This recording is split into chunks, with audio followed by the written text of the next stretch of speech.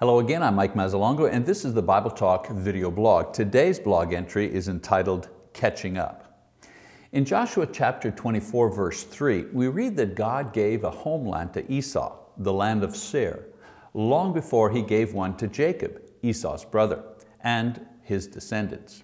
Esau had a 400-year head start on building cities and fortifying towers. He had a great advantage in establishing an army and a permanent culture. Jacob's descendants, on the other hand, were slaves in Egypt for four centuries and spent an additional 40 years in the desert before going in and settling the promised land. Eventually, however, Jacob's relatives outgrew their cousins and their society eclipsed their older, more established relatives. You know, there's a parallel here between these ancient cultures and ourselves in the modern era. Sometimes we as Christians seem so far behind our earthly, unbelieving brothers in so many ways.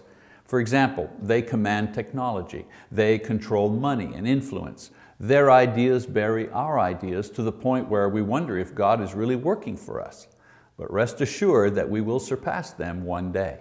In the twinkling of an eye, we will be transformed into glorious beings transcending any power or ability displayed by our unbelieving friends here on earth. So let's not be discouraged, therefore, at the disparate levels of accomplishments, of resources enjoyed by those of the world and ourselves. One day, we will catch up and surpass all of these in a heartbeat and wonder why we ever worried in the first place. Well, I'm Mike Mazzalongo and you've been watching the Bible Talk video blog. We'll see you again next time. Bye-bye.